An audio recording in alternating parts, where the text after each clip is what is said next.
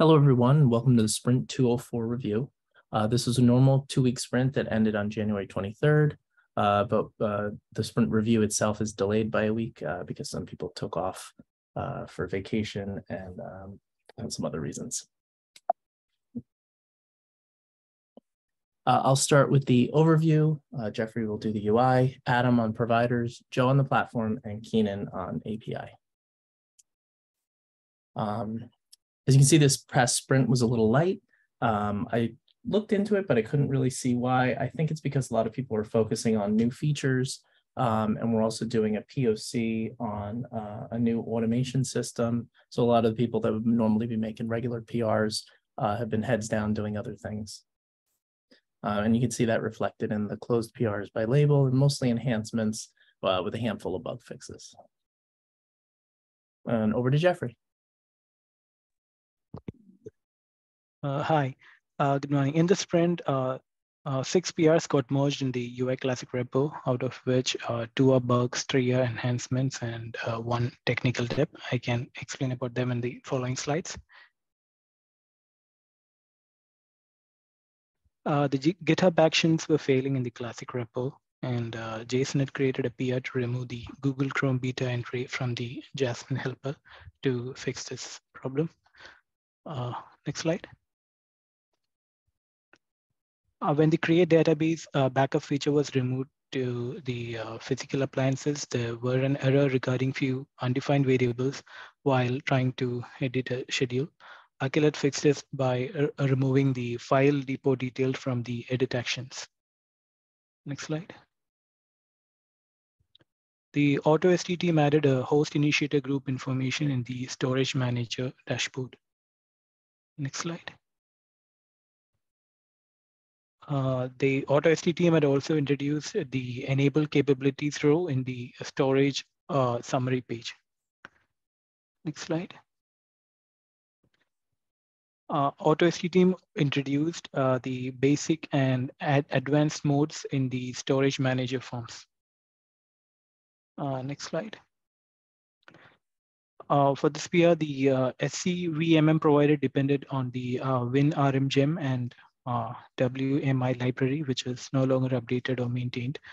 Uh, this prevented us from moving to CentOS Steam Stream 9 as the WMI library does not compile. Adam made some changes in the automation engine repo and classic repo for this. Slide. Uh, that's all from the UI. Over to Adam. All right, thanks, Jeffrey. Uh, so yeah, for all the reasons that Jeffrey just mentioned, uh, we dropped the SCVMM provider. Uh, with regards to core, a lot of this was just references to uh, SCVMM type objects in uh, in core, mostly in specs. Uh, there were a couple references in app models code, but mostly in specs to you know VM Microsoft type objects. So it was switching those over to the generic infra type for the most part. There was some interesting code that had to get refactored and actually uh, improve the overall experience for um, chargeback. Specifically, SCVMM didn't have metric support, and there was some hard-coded support for chargeback without uh, without U metrics. Um, what really they wanted to say was, does this provider uh, support collecting metrics? And so we were able to, uh, as part of this removal, get that bug fixed up. So now uh, other infra providers which don't collect uh, U metrics do just allocation based chargeback as well. So that was a nice uh, bug fix that fell out of uh, shaking the tree a little bit. So for Auto SDE, uh, Gal added capabilities to the storage resources object so that they can track what is uh, available as um, uh, enabled and disabled features for the different storage objects. They also improved the uh, volume create uh, by filtering out uh, uh, properties that aren't able to be selected.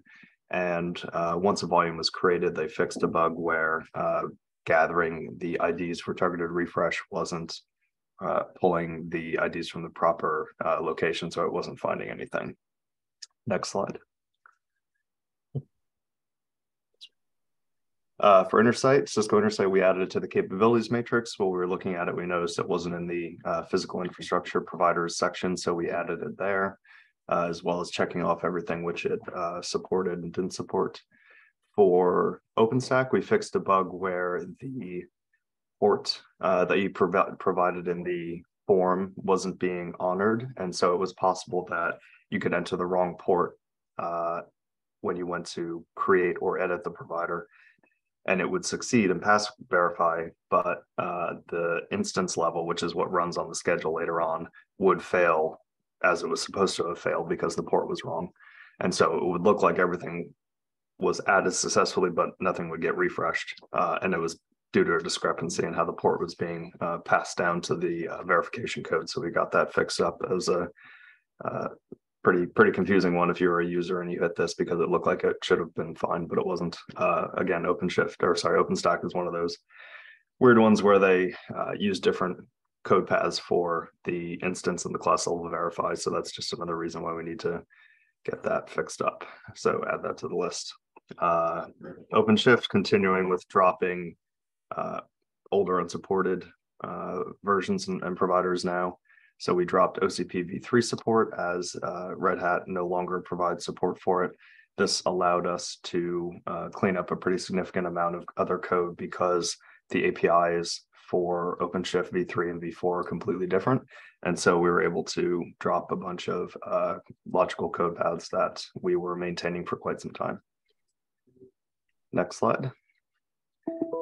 And for VMware, we're now uh, for the non-Rails worker, for the non-Rails event catcher, uh, we're using the uh, normalized worker settings from core, which just allows us to uh, drop a couple of dependencies and uh, make it a lot simpler for provider authors to be able to get uh, worker settings in a in a format that they're able to use. Specifically, this is around converting integers from a string like you know 10 dot minutes to the actual um, you know 600 seconds that you'd be able to use, and also uh, decrypting passwords so that uh, you don't have to have access to the v2 key as a as a non Rails worker.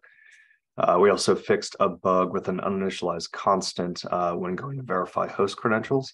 This was due to some refactoring that caused the uh, host verify credentials path to be uh, the same as the um, to be the same as the EMS one, and that introduced some bugs uh, due to not testing with a uh, not testing verify credentials with the host. And that is it for providers. Over Joe. Okay, uh, for core enhancements, Brandon added a default container security context. Uh, Nassar added some of the logic around starting workers for his work on a non-Rails workers and setting the correct status. Adam enhanced the plugin generator to default to using the override gem with the local gem, as it won't exist in the ManageIQ org when you're creating it initially. Uh, Adam also added the Service UI native console product feature. Next slide. For core bugs, Keenan fixed an issue where Rails 6171 uh, was released and changed some defaults around a possible security issue. So he um, temporarily resolved that for us. And Jason fixed a few RPM build issues to use a, a correct executable path and ensure the source is checked out when building. Next slide. Onto the API. Okay, cool. So uh, for an enhancement over in the API, uh, we added support for, um, or Adam, uh, hat trick, uh, added support for uh, querying the native console um, protocol. Okay, on to next.